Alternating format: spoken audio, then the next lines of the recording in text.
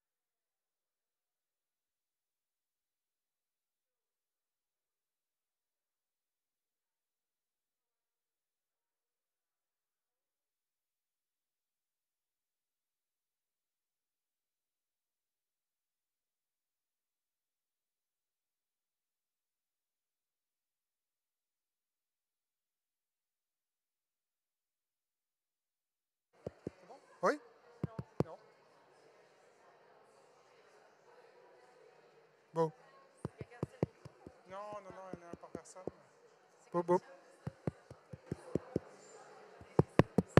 Oui?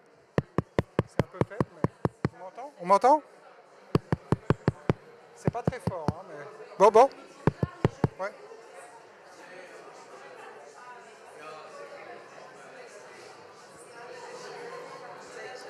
Test, test.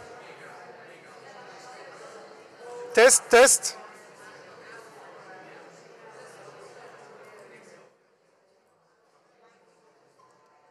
Selbsttest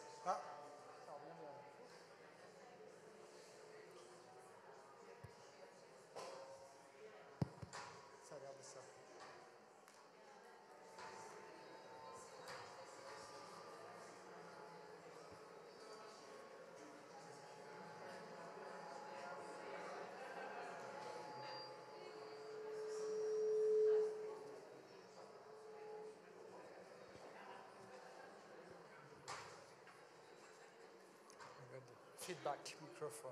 So. It's better. Yeah.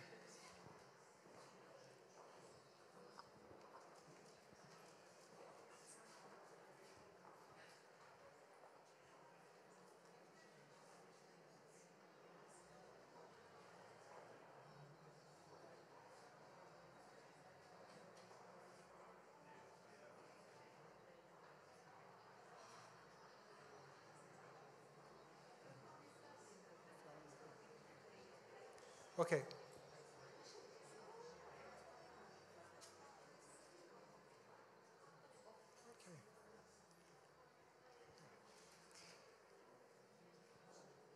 Good evening. It's, um, it's a pleasure to welcome so many of you tonight. This evening, we are particularly honored to count among us the artist Lynette Yiadom-Boakye, Tate Britain's Director of Exhibition and Display, Andrea Schlieker, and Isabella Maidment, Tate Britain's Curator of British Contemporary Art, for a conversation that will take you us through the work of Lynette Yiadom-Boakye. So thank you very much to all of you free to be with us tonight. Thank you. Uh, so before passing the floor to Lynette, Andrea, and Isabella, whom will enlighten us on the works and the exhibition, I would like to briefly introduce the artist and the exhibition. So Mudam is proud to host the exhibition Fly in League with the Night, as it's the most extensive survey of the British artist Lynette Yiadom-Boakye to that date. Fly in League with the Night is a touring exhibition organized by Tate, developed in collaboration with the Moderna Museet of Stockholm, the Kunstsammlung Nordrhein-Westfalen Düsseldorf, and Mudam Luxembourg. It has been first presented at Tate Britain in November 2020, then to Moderna Museet Stockholm from July to September 2021, and then at Kunstsammlung Nordrhein-Westfalen, Düsseldorf from October 2021 to February 2022 before being presented here in Mudam. And after Mudam's presentation, this exhibition will be restaged at Tate Britain for a full three months run, as it was closed almost right after the opening in November 2020 because of the pandemic. So, a few words about the artist. So, born in London in 1977, Lynette Yiadom-Boakye has become, over the course of that last decade, one of the most internationally acclaimed artists. She has previously held solo exhibitions at the New Museum New York in 2017, at the Kunsthalle Basel in 2016, Serpentine Galleries, London in 2015, and more recently, uh, the, she participated in the Ghanaian Pavilion at the 58th Venice Biennale in 2019. Lynette was also awarded of the prestigious Carnegie Prize in 2018 and was the, the 2012 recipient of the Pinchuk Foundation Future Generation Prize. She was shortlisted for the Turner Prize in 2013. So Lynette Yiadom-Boakye is celebrated for her enigmatic oil painting of fictitious black subjects, but beside being an important painter, She is also a writer of prose and poetry. And as you will notice, the subtle encounter of writing with painting is sensitive through the evocative titles of the works. At Mudam, the exhibition is presented in the two ground floor galleries. It brings together 67 works and spans two decades of the artist's production. The artist has conceived the layout of the exhibition, and the space has been divided in eight rooms without a strict chronology or thematic, but according to the dynamics and conversations between paintings. As you will see, in this playfully choreographed exhibition, the painting figures appear to be looking at each other, or looking away, or looking at us, and they engage doing so uh, um, a, um, a dialogue with us while at the same time they inhabit their own world and stay at further distance. It's a constant back and forth relation with the visitor. At first glance, the painting of Lynette Yiadom Boakye does echo of the painted portrait de genre, um, but the depicted people are fictitious. They are born from the imagine, imagination sorry, of the artist and, um, and these uh, figures seems to exist outside of the specific time and place.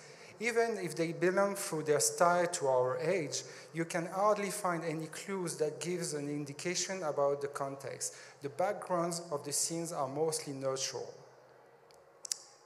Doing so and avoiding a detailed mise en scène, the painting is spontaneous and the brush strokes are vibrant, but the mood of each painting is crafted through careful attention to facial expressions, gestures, and color.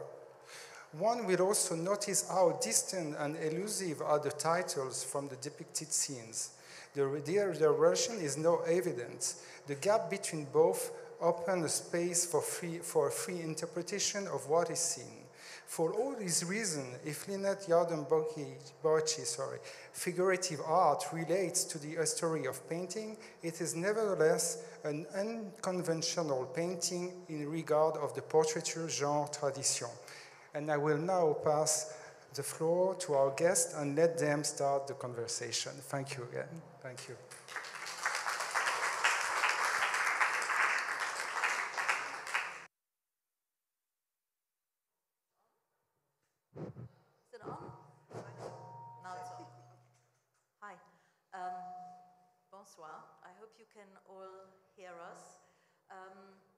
Lynette.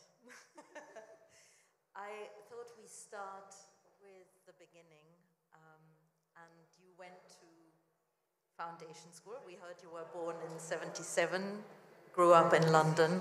You did foundation at first in London, but then you went to Falmouth, which is in Cornwall, in the far west of England. And you studied at the Falmouth School of Art. And I just wondered, I know this was a really important period for you. Could you tell us a little bit about your experience? Okay, okay, so this is it's working. Okay, oh God. I sound so hollow. I can't, I'm going to struggle to concentrate. But um, hello, everyone, and thank you. thank you for coming. Um, yeah, so the beginning.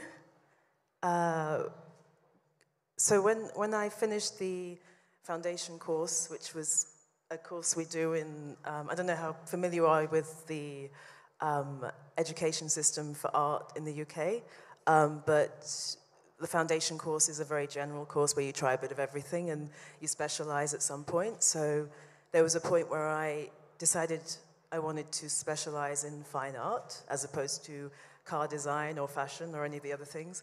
And um, when it came time to apply to do a degree, um, for me, the choice was always going to be London, another major city that's like London, or somewhere completely different. And um, really, there was nowhere else, there was no other major city in the UK I wanted to be in than London. So I went for the other extreme, which was Falmouth, which is, I don't know if anyone here is familiar with the southwest of England, but it's very, very different to London, suffice it to say. Um, it's by the sea. There's, um, it, it's, it's a very, um, what's the word? Um, it's, it's a tight community, it's smaller, um, and the, the, the landscape and the scenery is extraordinary. And looking around this room actually is, is, is kind of making me think of how being there influenced me kind of subliminally. I wasn't really, I didn't paint landscape while I was there, but I did become very much more sensitive to light and color and surroundings. And I think even more importantly, because when I arrived, I really didn't know what to do with myself, that a, a process of, of collecting things, of synthesizing, of, um, of thinking intuitively, but also, um, I, I, don't really know how to describe this, um, allowing your mind to go a little bit. I'd, I'd always thought art was quite, was involved a lot of logic, which it does, and obviously skill and training, but there was something else that I think I needed to be away from my surroundings where I'd grown up, London, which is very particular, um, and be somewhere else where I could let my mind go. So I think maybe that's a good place to start, letting the mind go. it's, a, it's an excellent place to start. And it's thank you everyone for being here um, this evening, and thank you, Lynette, for sharing your time with us. Um, it's really brilliant, I think, to start with Falmouth, of all the places in all the world, because it was there, I think, that you really made that pragmatic decision, that choice to move away from portraiture per se. You, you trained, of course, working from life. And we might instinctively think of your work, of course, it's figurative, it's absolutely figurative, but these are not portraits per se, very far from it. Um, I wondered if you might talk to us a little bit about that choice, that decision to take a step away from reality, in a sense, um, while also very much committing to a figurative project that's utterly anchored in, in truth, I feel. Um, be great to hear you speak a little bit about that. Yeah, so um, I, I, think I made the realization very early on that in, as much as I was fascinated by people, and I, I like a lot of people, I wasn't really thinking in terms of painting people I knew or trying to capture the essence of anyone who was already around me or in my life or anyone who came knocking. It was very, um, there, was a, there was a bit of a, a, a separation for me. Um, I became less interested in, in that than allowing a certain freedom to let it be anything. And that was much more, um, that was much more obvious earlier on. I didn't really know how to paint. I mean, I, I still think I don't know how to paint because I don't think you ever, you never actually, I never actually learned. I never, we didn't really train. By the time I went to art school, it was very out of fashion to teach anyone anything, especially in London in the 90s, uh, late 90s to early 2000s. We would spend a lot of time talking about what we weren't doing and why we weren't doing it and how to stop doing it ever again. And for me, that was extremely um, confusing. It's one of the reasons why I, left, I didn't want to, I didn't really want to stay in London to do my degree, because it was that, that, that, conversation very much um, around not painting was a bit of a distraction when you're trying to paint or, or think about it. And so um, for me, it was, it was moving as far away from that as possible in a way. So um, having um, having that time, like a full three years, to move from the training of how to render something, and that wasn't just figures, that was objects, places, um, nature, um, to keep that and yet not be uh, and, and yet to, to, to, to, mix it up, to, to, comp- to make things composite, to draw on various different sources, and, and, and think more like a poet. I mean, I didn't think about it at the time because I, I really didn't know what I was doing. But as time went on, the more I was writing, painting, drawing, taking photos, doing other things, um, all of the different components, um, I started to, to think about how these things linked and what the link might be, which I felt was more important than anything I was doing, all of which was bad, like really, really rubbish. Um, I haven't, I don't think I've kept any of it. My mum might have some in the shed, actually, but she, but apart from that, I mean, there, there isn't much that exists from that time, but I have memory of it, and it was, it was very confused, but, but also, um, it's funny looking back on it now and seeing all the components, it was starting to make a kind of sense. I just didn't, it, it took another 10 or 15 years to work out what that was. The 10 and 15 years gap is a, a, very interesting thing, isn't it? Because this exhibition spans 20 years essentially, and of course, the past three years in which we've been making it together feel like a, another few decades in their own right. But I wondered if you could say a little bit about what it feels like to survey your career in this particular moment. I think we're in a, a period where we're all very much looking back in order to move forward or find ways to move forward in this, this very strange period in time. And it's been really fantastic to have the opportunity um, for us we, to, to be together, to, to see these works again, um, and to share this space together. But I wondered what it feels like for you um, to even grapple with making a, a survey of your career. From, of course, we do actually have work from 2003 brilliantly titled First um, in this exhibition, which was in your degree show at the RA school. So it must feel quite extraordinary to, to bring all these works together for the first time.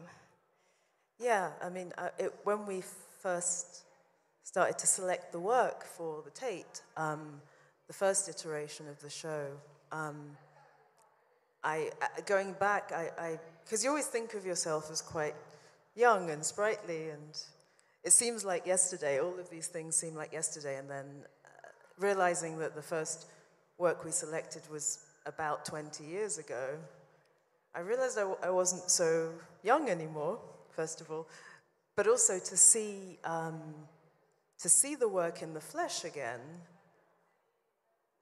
I was a bit worried actually when all the work, when we selected the work and I knew it was coming back, I didn't think I would like a lot of it. I thought I'd be quite embarrassed, actually, of a lot of it.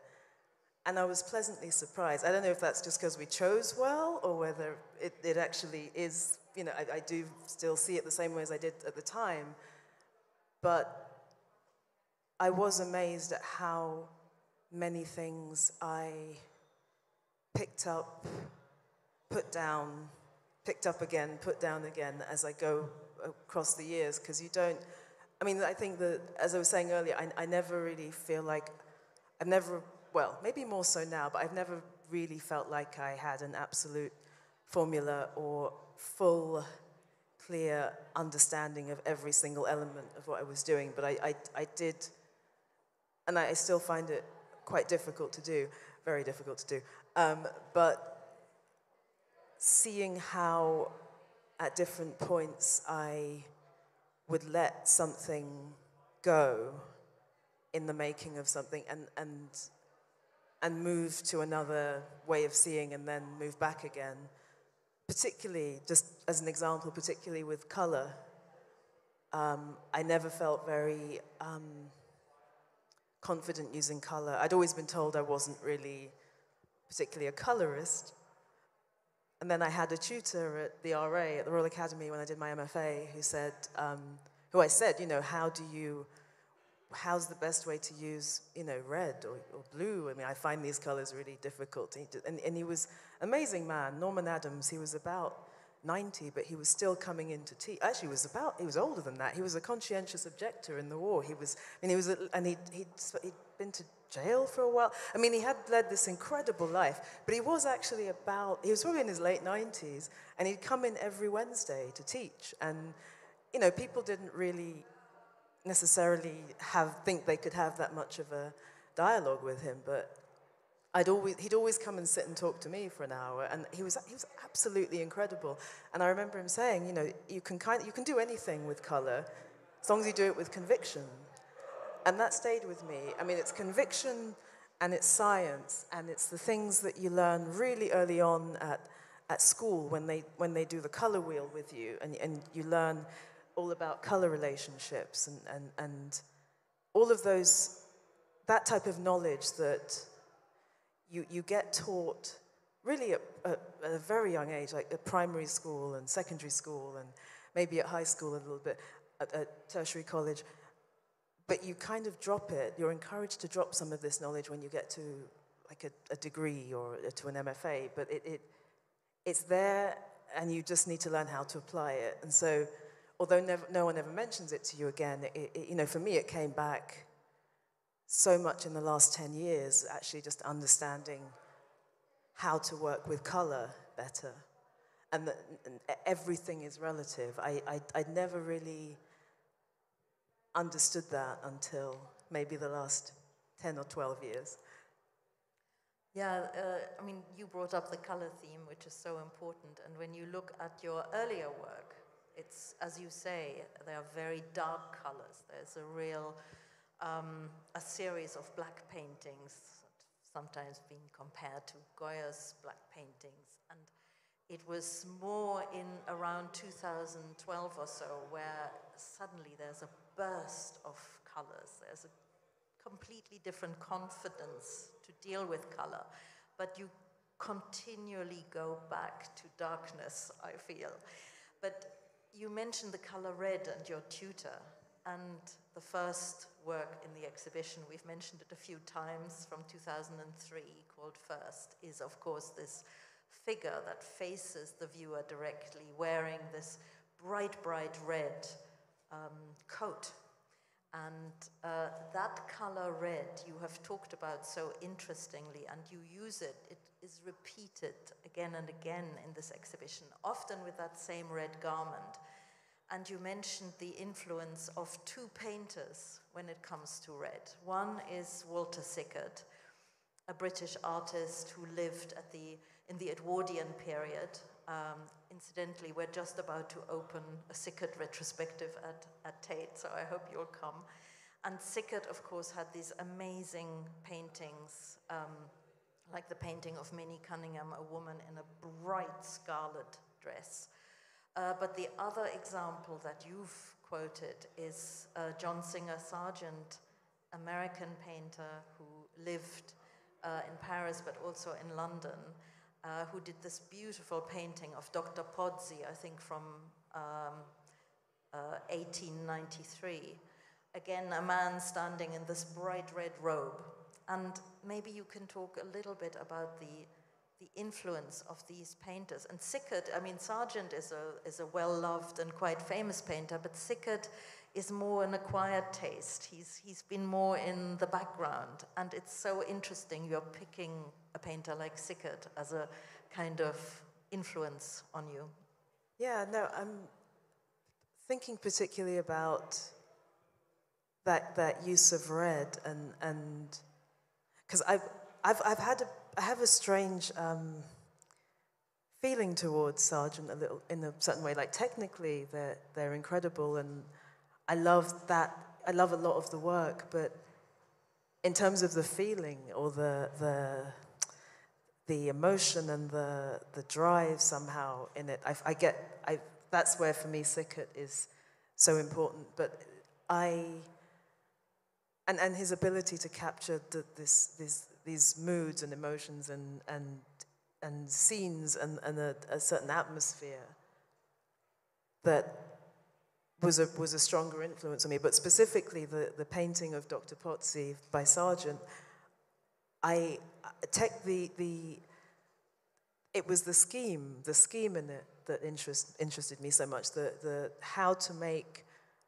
red work. I spent so much time looking at that painting and the Degas painting of Coiffeuse um, because I wanted to understand how I was seeing the red as red. How, how was it? Because it wasn't just, it, it was, I realized it wasn't as simple as, as, as taking the red out of the tube or five different reds out of a tube and, and blending. There was something, there was all these other relationships. And so I spent a long time just staring at one thing, um, which is a good way to learn. And I, from, from, from that, I, it, because I, uh, the main, the, the, the, the other thing about the focus on red was that it's always, it's a color that's always made me a bit sick that like physically I've, always, I've like it used to give me a headache if I saw too much of it if I saw it in a, if I was if we were driving if it, like my dad's car and I, I, I, saw it in the car somewhere I'd get car I mean actually I got car sick over a lot of things but I suddenly I decided red was one of the things that made me car sick because sometimes I'd be wearing red but then sometimes I was sick when I wasn't wearing red so maybe it wasn't anyway but it really it, it, it was there was so thinking about the Dr. Pozzi painting and the story behind that painting that really captured me. The fact that he, he died a very kind of bloody death. He was murdered by a woman patient, I think, um, and who I think he, he, you know, a woman scorned, I think, a woman patient scorned. Um, and the, the story behind it captured my imagination. It was just that, that thing about red just being this really hot, sickening um, headache inducing color that I, but at the same time, the way that he used it was, and the way that Degas used it, and the way that Sickert used it, it, it glowed, it, it, it kind of, it, it vibrated off the wall in a certain way. And I, I, I really fell in love with that. And so the, the, the two, the, the, there's the, the painting from 2003 that sort of sparked something. It was the first one that I did for my degree show at the RA that actually worked. So it started off a chain reaction to the rest of the show. And it stayed with me, but at the same time, I, I, my work really moved away from color after that. And it wasn't, I think, until about 2010 when the, um, what's it called? Any number of preoccupations, which is the other man in the red dressing gown, and it, it, it was wanting to revisit that. And the same, there's a, a more, a more, um, uh, what's the word? Correct color scheme. So the, the, the, the white is always really important to balance, to make the red not feel sickening or muddy. And so, um, yeah, that, that was that. And then the, the work that followed on from that. So I'm trying to remember what's in that room. But even the, the yes, the woman uh, on the later on in the show, actually, the woman on the on the leaning on the table, and that that geranium love song. Geranium love sonnet. That's the one. Um, again, thinking about that sickly relation of, of, of pink and red, and how to work with that. So a lot a lot of it is is was me trying to do things that I found very difficult. Yeah. Don't know if that answered the question. the wonderful thing is that there's such precision and, and, and technicality and, and what we're seeing in these paintings, and I don't know if you've ever really realized that initially because they're so brilliantly accomplished, but you work fast, you work wet on wet, and you, there isn't any preparatory sketching.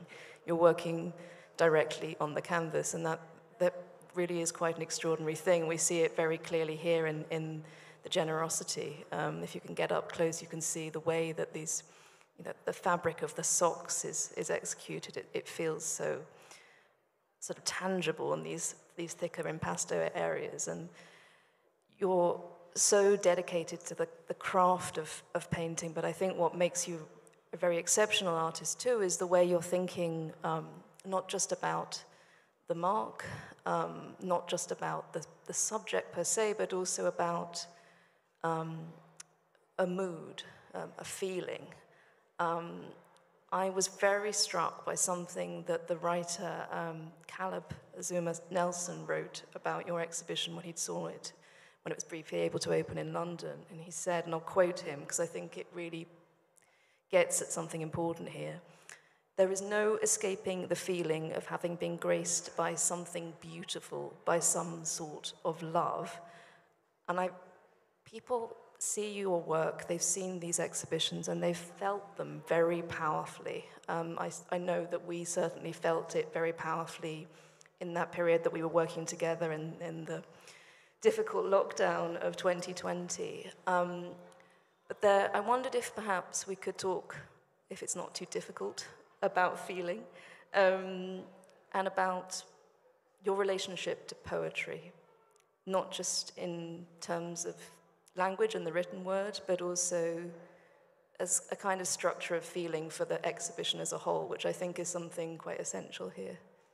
Yeah, um, so in the, in the same way that I think we look at poetry or we read poetry or we, we hear music or we listen to lyrics in music and we accept that we don't have to understand as such. We don't have to, um, what's the word I'm looking for? Um, rationalize we don't have to rationalize it. I think very much the same way with painting that it's something that is felt so much more than. I mean, it's thought as well, but it's there's a there's the, the, the thing that the magic, the if I can dare to use that word, the magic. And when I say magic, I, I mean it, the magic that I feel making it, which I hope it comes through sometimes when looking at it. Um, but the magic that I feel making it, which is, is, is I, I, don't, I can't really describe it. it it's, uh, it, it's without sounding too crazy, almost out of body. It's, it's, it, you, when your mind goes somewhere that you, you, you didn't, you, you never saw before, you didn't, you didn't plan. And, and that, I, I get that feeling listening to certain things or, or seeing certain things or being in certain places. And, and you can't always put it into words. I think it's, people make a lot of that, you know, the, the fact of not being able to put something into words. But when I say it, I mean it quite literally, like very literally. Um, and that's not to say that um, there, there aren't explanations in there somewhere. They're just not necessarily rational, logical. um, I mean, it, I, and I, when I look at a lot of these, I remember making them. Um, and I, I don't have a great memory for things, but I remember making them because I remember the, what they felt like to make. And I, like, I'm just, I keep looking at this one. Um, and I remember what it looked like with a few marks on it. I remember it was very blue and green and brown, and I could never find that brown again. But I, I saw a heart shape, and I, I, I think about composition in that way a lot shapes and forms, and I started to see the heart shape from the, the two backs, and yeah, I'm, I, it, it, I don't know how to describe it, but like the think, trying to think about a, a train of thought, and when I'm fully concentrated, and when I try to say to my students a lot about a level of concentration and commitment and becoming acquainted with your language in the same way that a poet does, that you stop and you don't you kind of don't need to look sideways a lot with that. You need to trust yourself a little bit, but it, it's it's almost beyond intuition because you're, you're, you're thinking about how you see and how you see the world and how you, how you, how you um, interpret that and how it comes through in your language. Um, and, and the same way that you, there's a, there's a line from a, a, a short bit of poetry at the end of a Miles Davis song where he says, Can the, can the ocean be described? And, and I think it's that. It's that you see the enormity of something, you feel something, and, and you, you, your heart understands it, your mind understands it, your body understands it, but it, you don't need to explain it.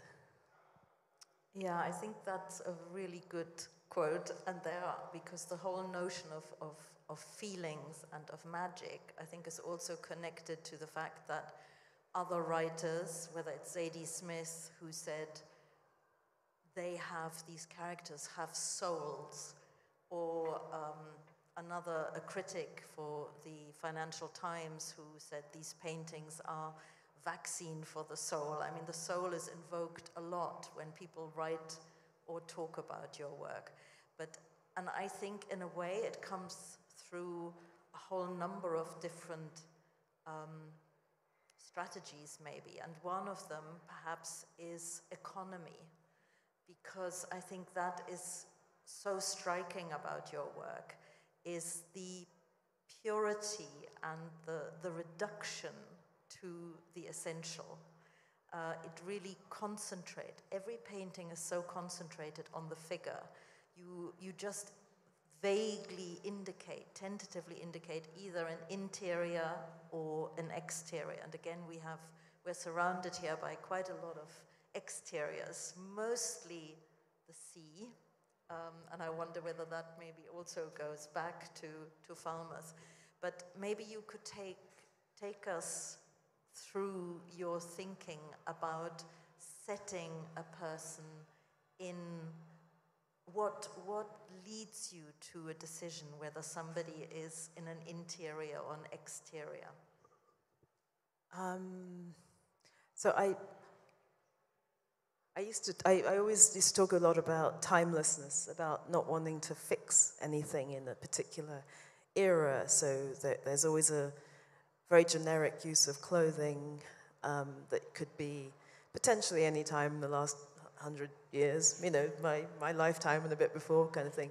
Um, occasionally there's more specificity, but it's in those moments it's linked to something very personal to me. So, for example, the, the an education, the one of the paintings um, I can't remember where it is actually. It isn't. It's in this one. It's, it's, it's here. I can't, I can't, remember what we've lost and what we've got. Um, but the um, an education uh, for me evoked a time and a place and a period, but more um, a community or a, or a, um, an intellectual community, a grouping, a, a meeting of minds and I was thinking a lot about my dad and my cousin and um, a number of other people who were who, who, who came to the UK in the 1960s and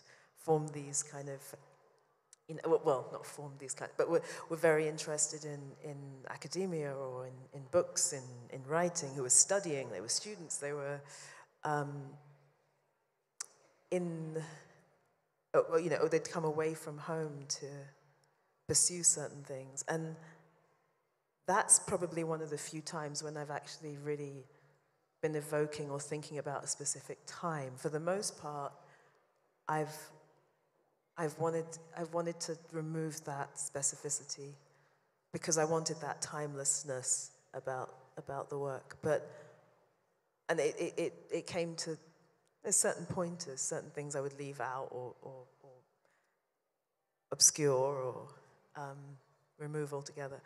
Um, and yeah, what, what, was I saying? What was, what was the question again? I've, I've spiraled. Interior. oh, interior, sorry. Um, and um, yeah, I, I think from Falmouth and then going back to live in a city and tried to work and do various things and struggle for quite a while. And then I did a, a residency in Marseille in 2009, I think. And again, I was by the sea, I was in the landscape, I was looking at the light, and that got me thinking again so much about being outside and the timelessness of outside. And once you remove architecture, once you remove buildings, once you reduce it to the elements, again, something, something opened up for me.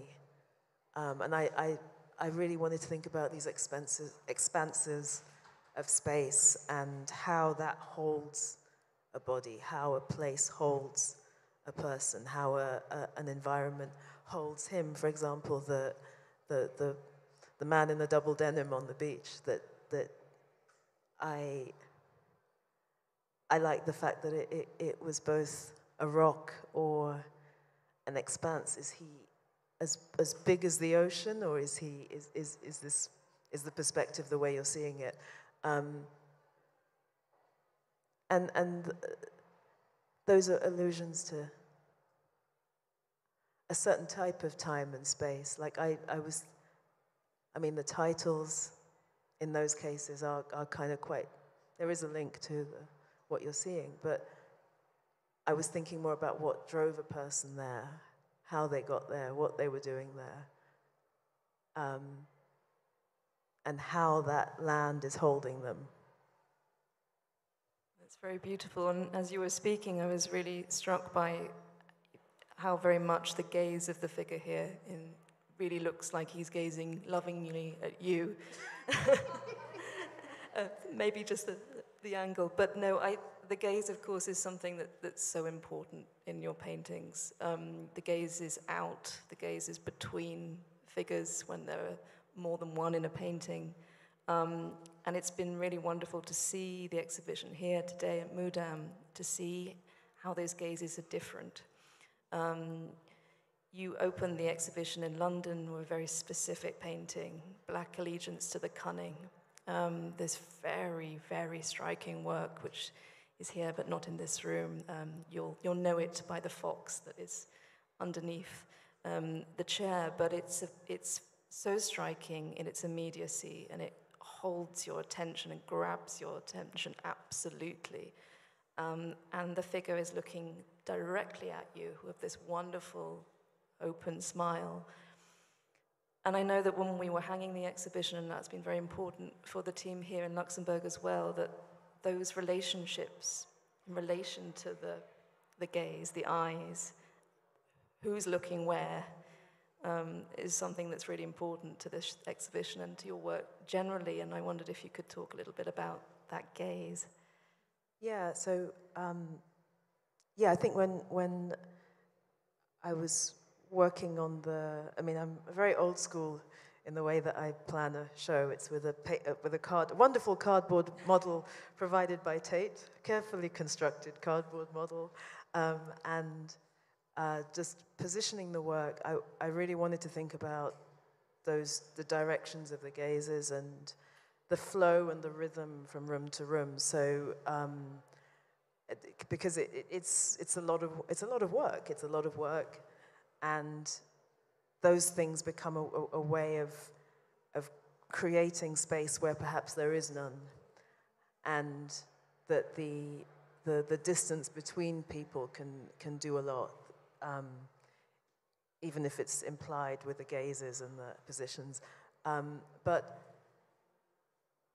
it's, it's been wonderful to see it here because it's such a different space. I mean, it's the first, sadly, I wasn't able to travel to um, Sweden or Dusseldorf for the, the two shows in, in between, but it's wonderful to see it here because this is such a different space and such a different um, set of relationships that are able to come about between them because of the change in the space and the scale and the sizing of the rooms. And so um, it's less clear in here, but in some, some of the other rooms where um, certain things have had to change position quite drastically, they've completely moved from anywhere near where they were at Tate, and somehow they're still, as, although the dynamic changes, it, it, there are still these dialogues that, um, like I said, create a very different sense of space or, or um, and affect the rhythm of, of how, how the thing is hung and how you move through it. Yeah. Yeah, I remember you said once you are less interested in the individual painting than in the relationship between the paintings. I just um, want to ask one more question. And maybe we can, I don't quite know where we are with time, but we, it would be nice to open it um, for questions. But I just wondered, you were talking about magic earlier on, and I know that the, the inexplicable that is so part of magic is really important for you. And there is one element you have, there are certain elements that repeat sometimes in the painting in different forms. And um, animals are, play a very important role, considering that you strip everything down to the essential. When there is another element that is not human, then it has extra weight, extra symbolic weight. And Isabella mentioned um, uh, True Allegiance of the Cunning, no, um, Black Allegiance of the Cunning, with the fox underneath it. And so the fox, of course, a wild animal, you wouldn't necessarily expect it curled up underneath you. But you meant in the matter, you have a man with an owl, there's another painting, a man with. Um, uh, what's papagaya in English? I've gone blank. Parrot, thank you. um, so animals play a really important, the cat, of course. So maybe you can talk a little bit about, they seem to be like familiars, like extensions of the person's character. Yeah, no, it, it's. I, I did wonder about that because I, I read some. I don't know, someone wrote something. I mean, I don't generally read an, anything of, uh, that's written about the work because it starts to drive you a bit crazy um, if you get too into it. Um, but there was, I was really stunned when someone mentioned, described it as people with their pets. And I'd never thought about it like that. I'd never thought of them as pets. And, and I thought that was very, that was very sweet. I mean, it was very, it was very sweet what they were saying, but it was really, you know, it's kind of, it was such an innocent reading. And I thought, wow, God, that's so, I wish I was that innocent. People and their pets. Um, I don't know. I, I look at a man with a, I don't know. I, I- mean, I, maybe I'm just too jaded or sullied or damaged in this world. But I, I, I it's not, I, I, I suppose I, initially I started to put the animals and, and the birds in because thinking back to magic and also thinking of, I, I wanted there to be a, a, an, a, another presence that wasn't human. I wanted another gaze that wasn't human. I wanted an interaction that wasn't with another human being. And, and the animals just became a really, um, and I've, al- I've always, I have to say, I mean, I'm, I've, that, that is the, I always say there's not really a, a, very close link between the, the, the writing and, and the painting, but I've, I've always written about animals, like uh, uh, fiction, speak, talking animals.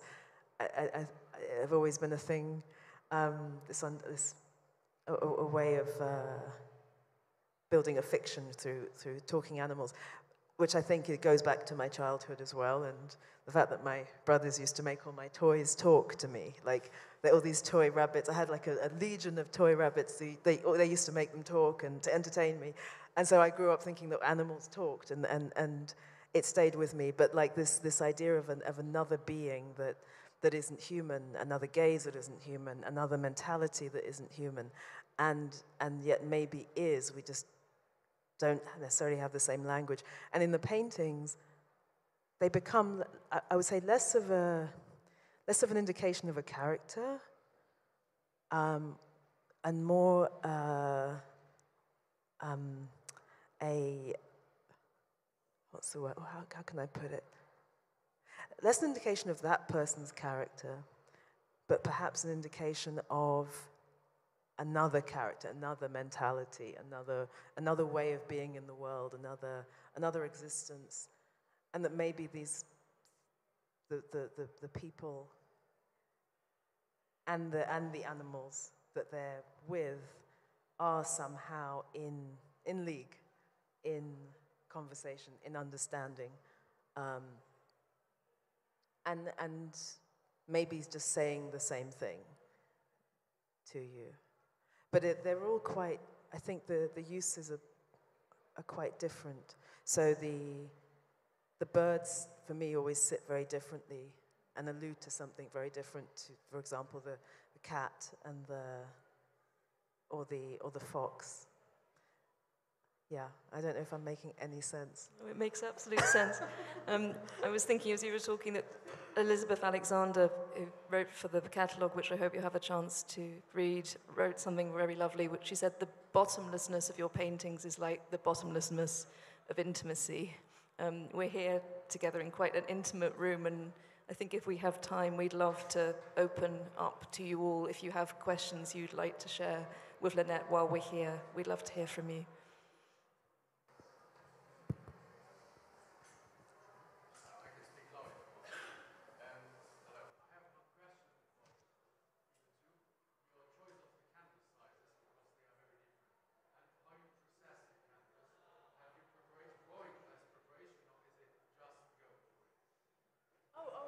Oh, sorry, shouting as well. Um, no, I, I, I um, forgot where I was. Um, oh no, I prepare them. Absolutely, no. Um, that that's something I did. They did teach us at art school. Was you you have to you have to um, size and prime, or just size a canvas at least. So, um, rabbit skin glue and over the top uh, oil primer for the canvases, and then most of the linen linen um, canvases are um, rabbit skin glue sized. And I, I do it myself, um, mostly because I kind of know how I like them.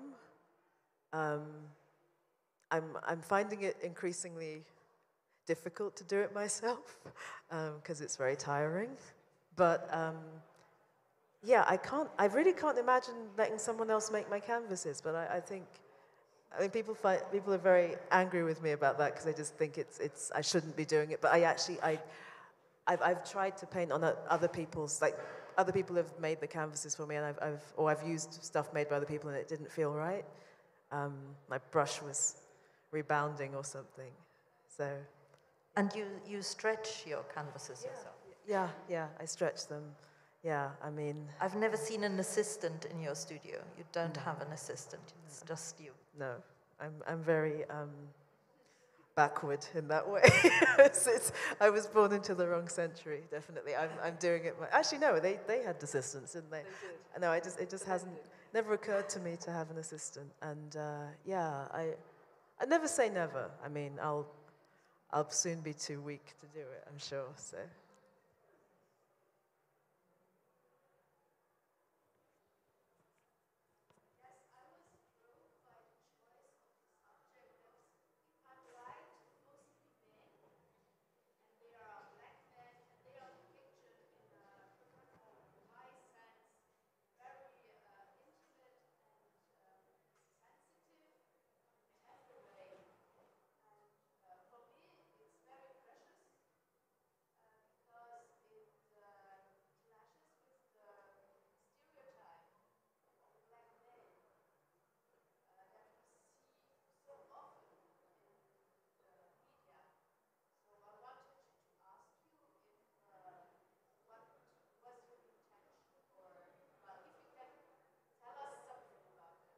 Yeah, sure. Um, so I think, I mean, firstly, on the, the men and women, I always thought it was an even split, but I think I perhaps became more obsessed with uh, a certain type of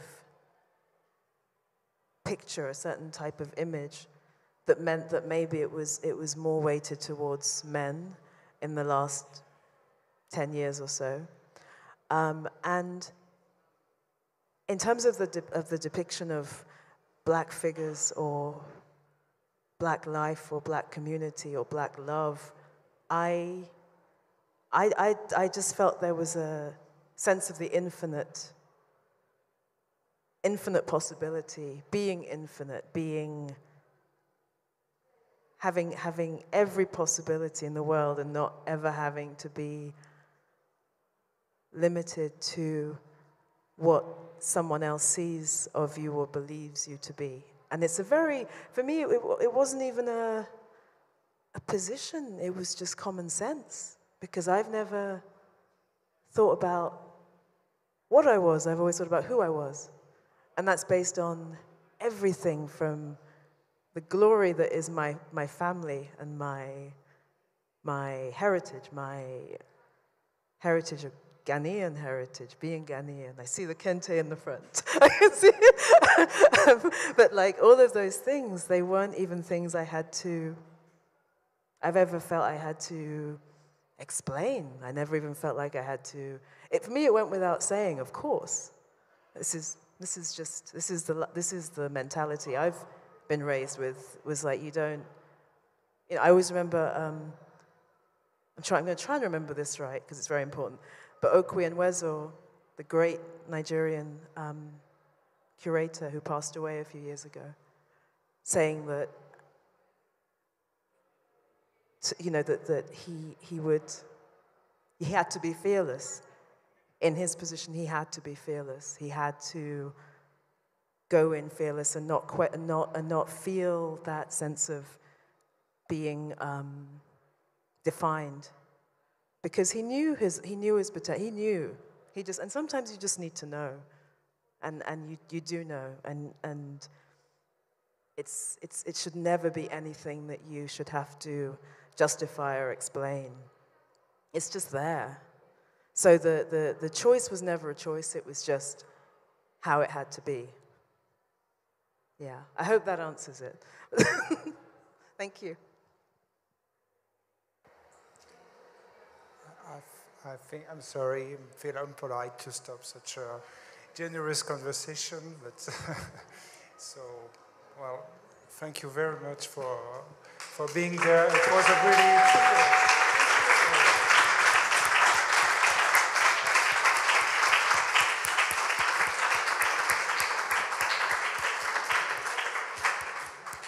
Thank you very much.